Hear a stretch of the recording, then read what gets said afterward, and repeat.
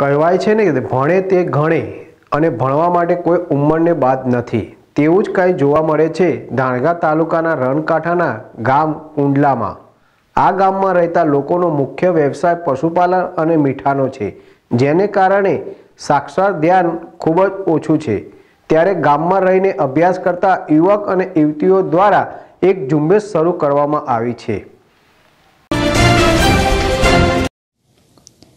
જેમાં ગામમાં રહેતા મોટી ઉંમરના લોકોને સાક્ષર જ્ઞાન આપવું અને એ અભિયાનમાં ગામમાં રહેતા અને જે લોકોને મોટી ઉંમરે પણ ભણવાની ઈચ્છા છે, તેઓ પોતાની મનની ઈચ્છા અધૂરી રહી ગઈ હોય.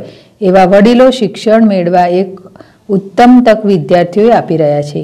તેવા પચાસ જેટલા મહિલાઓ અને પુરુષો આ વિદ્યાર્થીઓ પાસે દરરોજ સાંજે ભણવા આવે છે. આ વિદ્યાર્થીઓ દ્વારા આ મહિલા અને પુરુષોને કક્કો બારકડી તેમજ પોતાનું નામ અને પોતે પોતાની સહી કરી શકે, તેમજ ઘડિયા જેવું શીખડાવવામાં આવે છે. હાલ ડિજિટલ યુગમાં આ લોકો માટે આ શિક્ષણ ખૂબ મહત્વનું બની રહે.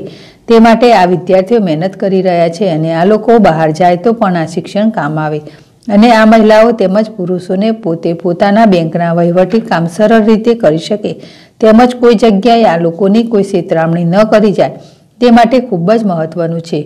કુડા ગામમાં આવેલ ખાનગી સ્કૂલમાં ભણતા આ બાળકો પોતે પણ એક સેવાનું કાર્ય કરવા માટે ગામના લોકોને સાક્ષર બનાવવા માટે કાર્ય કરી રહ્યા છે.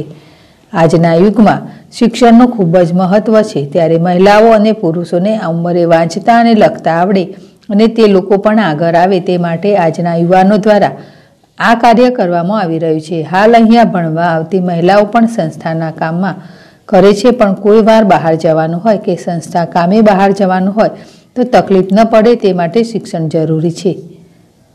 ધર્મેશ રબારી, ચેડેશ ટીવી, ધાંગધ્રા. એક વિદ્યાર્થીની છું.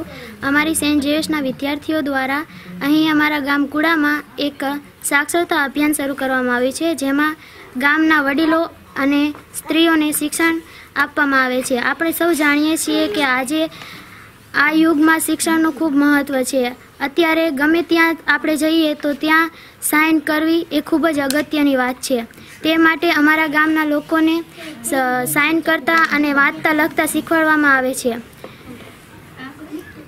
જેમાં અમારા ગામના લગભગ પચાસ જેટલા લોકો શીખવા આવે છે અને તેઓ ખૂબ શીખવામાં ખૂબ રુચિ ધરાવે છે અને તેમને ખૂબ જ ગમે છે કે તેમના બાળકો તેમના માટે પોતાનું કામ છોડી અને તેમને અભ્યાસ કરવા માટે અભ્યાસ કરવા માટે આવે છે. એમને શું શું શીખવાડવામાં આવે છે અહીં તેમને કક્કો બારકડી એકડા અને જે વાંચતા લખતા બધું શીખવાડવામાં આવે છે.